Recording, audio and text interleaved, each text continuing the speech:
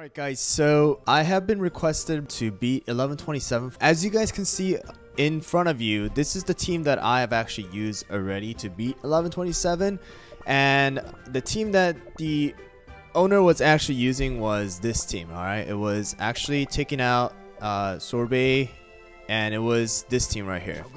This is the team that they were using, alright? They were using the Caramel Arrow strat that I shared with you guys previously, but the main problem with this team was that Caramel Arrow was not the highest attacking cookie. So a lot of you guys might still be struggling in this stage because of the fact that Raspberry Cookie is jumping the wrong cookie, alright? Or, you know, your damage or your healing is just not there.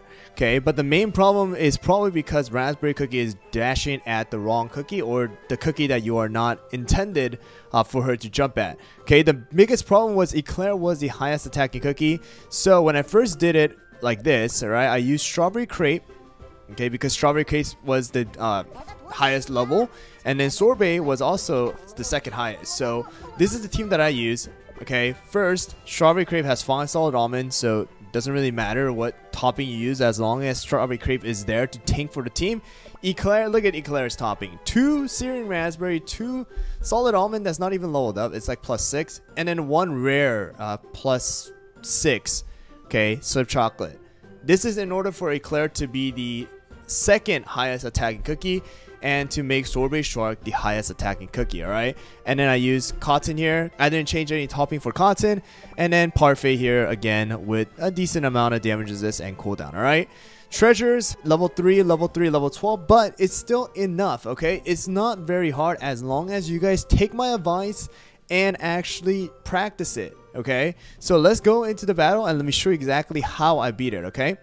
So make sure make sure you need to have your sorbet or black raisin or whoever it is that you want the you know raspberry cookie to jump at to have the highest attack in your team. So go to your cookie, check the stats out, see who the highest attacking cookie is because sorbet needs to be the one in order for raspberry to dash at sorbet and then for you to, you know, dodge some of the damage that she is going to inflict on your cookie.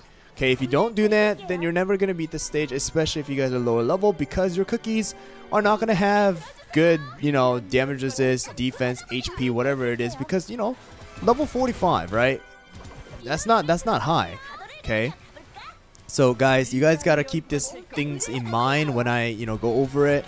Don't just watch it. Don't just skip it. Really listen and see what I'm trying to tell you, alright? So there you go. I'm to put it at one time uh, speed now right? First of all, I'm just going to use Cotton and Parfait, heal my cookies up. Obviously going to be using Eclair. That's the second skill that she's going to use. I'm going to use Strawberry Crepe here.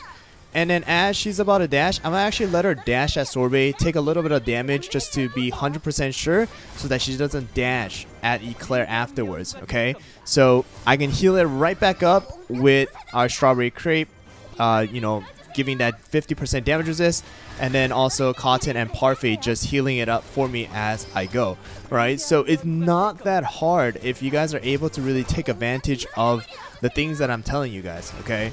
It's really simple nowadays, okay? It's it's there's a lot of different stages that are much harder than uh, Raspberry, especially if you guys, you know, have the cookies that like this, you know, uh, the treasures are not even super high. The toppings are not like maxed out. You know, a lot of you guys complain, and even on Reddit, I've seen a lot of posts telling you know telling people, hey, these YouTubers are telling you guys to use maxed out cookie. No, you don't need maxed out cookie if you guys use the strategies that we have, right? So you guys can see none of my cookies died. I didn't even use slingshot. The feather didn't even pop. There you guys go. Sorbet, eclair, strawberry crepe, cotton, parfait. 40, 47, 45, 47, 50. Not maxed out cookies, not maxed out promotion, except for Eclair in this case. Okay. And their toppings are not top notch. Okay. So I just want to make this video to make it clear to you guys that it is possible. Okay. Use the strategies that we give you. We don't post it just so that you guys watch it and you know you guys don't get any value out of it i don't want that i want you guys to get value out of these videos and learn how to do it but you know if you guys don't pay attention if you guys don't listen if you guys don't take advice, then it's not gonna help anyone, right? So hope you guys found the video helpful. Hope you guys are able to beat it. I do recommend you guys use Sorbet Shark Cookie if you guys have them because it's probably one of the easiest way to beat it because of the fact that the dodging kind of neglects a lot of the damage that Raspberry Cookie is able to do. You know, I don't recommend the Sea Fairy build if you guys don't have high damage resist toppings. Okay, just use this strategy. It's probably going to be the easiest one, although it may take a little bit of practice in the beginning, alright? So, 5 solid almond, strawberry crepe once again, like barely any cooldown. Uh, once again, Eclair, two searing raspberry, two solid almond, one swift chocolate. You can go with full swift chocolate too, as long as Eclair is not the highest attack. So Shark needs to be the highest attack cookie in the team. And then damage is definitely going to help out, just so that, you know, when they do take damage, they can heal it back up really quickly.